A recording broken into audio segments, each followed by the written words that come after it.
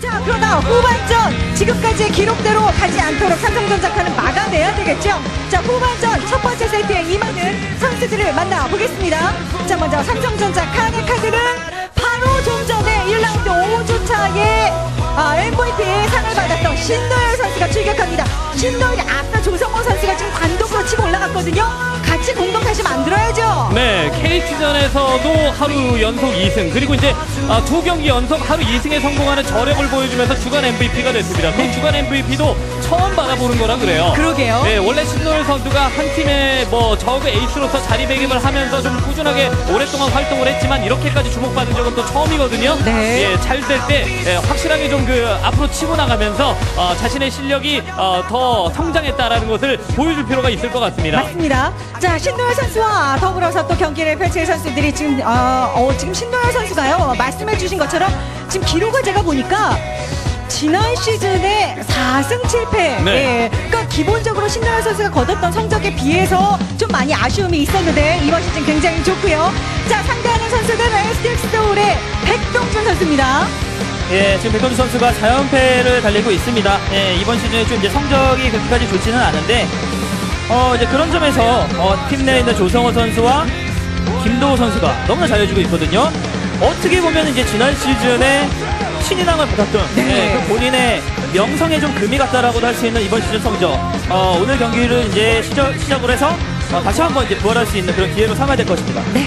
자, 신노현 선수와 백동준 선수가 안티가 두 선수에서 경기를 펼치게 됩니다. 자, 무엇보다도 신노현 선수는 가신 경쟁에서 뒤처지지 않기 위해서라도 그리고 삼성의 분위기를 위해서라도 치고 나가야죠. 첫 번째 세트 가보겠습니다.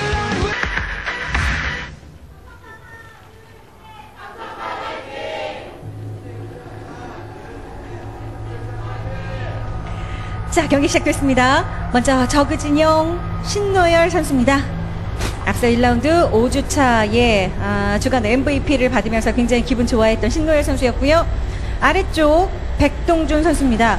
어, 박태민 해설이 짚어주신 것처럼 지난 시즌에 신인왕을 받았음에도 불구하고 현재까지가 1승 3패의 기록 또 스타1에서는 어, 3전 전패를 기록하고 있어서 분명히 좀 아쉬움이 있을 텐데 자 그러나 스타2에서는 1승을 기록했어요. 네. 그리고 이제 신노일 선수 같은 경우는 지금 현재 프로리그 정규 시즌 통산 98승입니다. 네. 이번 경기 이기면 99승. 앞으로 한 경기 더 이기면 또 100승. 예, 이렇게 이제 100승을 기록하는 한 12번째 선수 정도 되는 걸로 제가 기억을 하는데, 네. 네, 100승을 앞두고 있습니다. 프로리그 정규 시즌에서 벌써 100경기 가까이 출전을 했다는 것은 예, 어느 정도 이제 경력이 쌓였다라는 얘기고, 그럼요. 꾸준하게 계속 자신의 이제 그 팀 내에서 실력을 인정받으면서 나왔다라는 얘기인데, 지금처럼 주목받은 적은 그렇게 많지 않아요. 네네. 네. 그렇기 때문에 이게 그 가장 큰 이유가 지난 시즌에 좀 부진이 아, 좀 더더욱이나 네. 아, 영향을 미쳤을 것 같은데 자 지금 이렇게 탄력을 받을 때 예, 그리고 신노열 선수 입장에서 특히 삼성 입장에서는 애결까지 만들어야 되거든 전반전 뺏겼으니까 자 그러면 오늘 정말 말씀해주신 것처럼 백승 노려볼 수 있겠습니다. 예, 그래서 이제 삼성전자 칸이 이번 경기는 웬만하면 잡아줘야 됩니다. 예, 이 맵에서 어, 저그가 한 번도 출전한 적이 없었는데 나왔어요. 그리고 맵에 대한 성적도 그렇게까지 좋지가 않습니다. 예, 1승밖에 하지 못했던 맵이고 반면에 STS는 이 맵에서 한 번도 진 적이 없어요. 그래서 어, 이 map은 꼭 잡아주고 시작을 해야 되고 분위기가 좋은 신노열 선수가 어, 떻게 보면 그런 역할을 하기 위해 나온 것입니다. 네. 네. 프로토스로 출격을 해서 김윤중 선수가 한 번 출격해서 잡은 바가 있었, 경기에서 이긴 바가 있었고, 근데 이 안티가 조선소 같은 경우는 말씀해 주신 대로 저그와 프로토- 프로토스가 네 번 붙었을 때 4대 0으로 저그가 앞서고 있는 이런 전장이고, 삼성전자 칸은 안티가 조선소에서 테란 네 번 프로토스 한 번 나왔지 저그가 나온 적이 없습니다. 그런데. 신노열 선수가 출격을 하면서 아, 프로토스로 출격한 백동준 선수를 맞상대했다는 것은 확실히 이제 map 데이터상으로나 엔트리상으로나 삼성전자 칸이 엔트리를 잘 냈다고 그렇죠, 볼 수가 좋다. 있는 건데 네. 경기 시작 전에 그런 얘기도 들었습니다. 어차피 신노열 선수가 나올 줄은 어느 정도 예상하고 백동준을 내보낸 거다. 네. 그렇기 때문에 map 데이터와는 상관없이 분명히 좋은 경기를 할 것 같다라는 이야기를 아, STX 쪽에서 들은 게 있습니다. 어, 제가. 그래요? 네, 그래서 좀 기대를 해봐야 될 것 같아요. 호를 찔는 게 아니라면 말씀해주신 것처럼 삼성이 이렇게 좋은 카드를 내밀었는데 아 우리는 그거 이길 수 있어라고 어, STX가 받아친다면 말 그대로 삼성 입장에서는 좀 허탈해질 수 있을 텐데 자 신노열 선수는 그러지 않기 위해서라도 경기 가져가야 돼요. 예. 자 세 번째 부하장까지 아, 찍고 있는 모습 봤고요. 네, 백동준 선수의 심시티 자체가 일반적이지 않죠. 그러네요. 네, 이게 보통 이제 어, 여기보다는 좀 더 앞에 나가서 언덕 지역을 SimCity 하는 게 일반적인데 예, 바로 이 위치죠. 지금 앞마당 지역에 이렇게 SimCity를 하는 것은 조금 더 이제 자원을 아낄 수가 있습니다. 예, 아낄 수가 있고 어, 상대방의 그냥 초반에 좀 어, 빠른 산란못 같은 것을 막을 때는 좋아요. 하지만 이제 후반 어, 중후반에 찌르는 그런 이제 뭐 바퀴 찌르기나 이런 거를 막기에는 사실 언덕에 짓는 것보다는 좀 좋지가 않고요. 그렇죠. 넓은 범위에서 이제 저그들이 아, 바퀴 같은 유닛으로 타격할 수 있기 때문에 밀리는 상황이라면 절대 안 좋은 양상이 나올 수밖에는 없고 수비하기에는 초반 이후에는 아, 수비하기에는 좋지 않은 이런 상황이 나올 수 있습니다. 네. 앞서서 map 데이터도 말씀드렸고 이제 신노열 선수는 실력적으로 인정받고 있기는 합니다만 삼성자 칸이 안티가 조선소에서 저그를 내지 않았다라는 아, 이런 그 데이터가 있는데도 불구하고 저그가 나왔고 그 다음에 저그 데이터가 프로토스를 앞선다. 이러면은 100% 잡아줘야 된다는 얘기거든요. 삼성전자 칸에서는 이번 경기를. 어, 그럼요.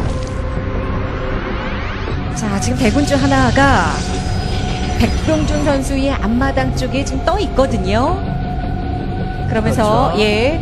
조금 더 깊숙이 들어가서 네. 이것저것 살펴볼 필요가 있습니다. 벌써 공업 눌렀고요. 네, 이 타이밍에 어, 저그가 가장 이제 눈여겨봐야 될 것이 어, 앞마당의 가스 타이밍과 재련소에 이제 돌아가고 있는지 안 돌아가고 그렇죠, 있는지를 확인해야 되는데 어, 일단은 가스는 확인을 할 수가 있어요. 근데 이제 재련소를 돌리고 있는 거에 대한 유무는 저글링을 통해서 확인을 해야 됩니다. 네, 그리고 이제 아직까지도 가스가 올라가고 있지 않다. 어, 이렇게 딱 본다면 바퀴 소굴을 이제 딱 한 7분 50초 정도 때 완성이 되게 완- 어, 건설을 해서 바퀴를 좀 찍어서 수비를 하는 그런 플레이를 하- 할 것입니다. 이제 신노 선수가. 네. 아직까지는 가스 두 군데 같이 또, 예, 확장 쪽에서 올려냈고요. 네, 슬슬 대군주 들어올 시간이기 때문에 본진 안쪽으로 대군주가 들어올 시간이기 때문에 네, 추적자라든가 파수기 이런 것들이 아, 정찰을 하지 못하도록 중간에 컷하는 게 중요하고요. 우주관문 올라가네요. 예, 원, 어, 원관문 상태에서 우주관문까지 하나가 더 올라가면서 우주관문에서 불사조 찍어서 상대방의 본진 안쪽을 아, 미리 살펴보는 이런 상황도 있고 일반적으로는 뭐 이런 식으로 공업 먼저 찍고 나중에 아, 불사조 두 기 정도 붙여가지고 같이 아, 뭐 여왕도 잡아줄 수 있고요. 들어 올려서 공격하고. 네. 예. 뭐 이런 식으로 견제하는 플레이들이 프로리그뿐만 아니라 다른 리그에서도 저그 상대로 이렇게 원관문 이후에 우주관문 예, 이런 식으로 아, 플레이를 많이 합니다. 그리고 공업 포격기까지, 예, 같이 네. 찍어냈죠. 예, 보통 공업포격기 운영을 할 때는 투가스를 빠르게 짓는 편인데 3가스 상태를 유지했다라고 하는 것 자체가 어, 상대방의 본진 위지역에 어, 수정탑을 아래 찍고 공업포격기로 시야를 밝히면서 광전사를 소환하기 위해서거든요. 그런 운영을 지금 신노현 선수가 정말 잘 막아주고 있어요. 네. 예, 그리고 이미 저렇게 수정탑을 짓고 있는 것을 확인했기 때문에 대비가 됩니다. 네. 데뷔를 할 수 있을 정도로 좋은 정보를 많이 얻었습니다. 대군주도 좀 늦지막 평소보다 늦지막히 본진 안쪽으로 찔러 넣으면서 상대가 어떤 식으로 플레이할 건가에 대한 그 플레이 테마를 확실하게 다 알았어요. 자, 그런데 여기 광전사까지 다섯 개 바로 수정탑에서 이렇게 불러드렸고요. 네.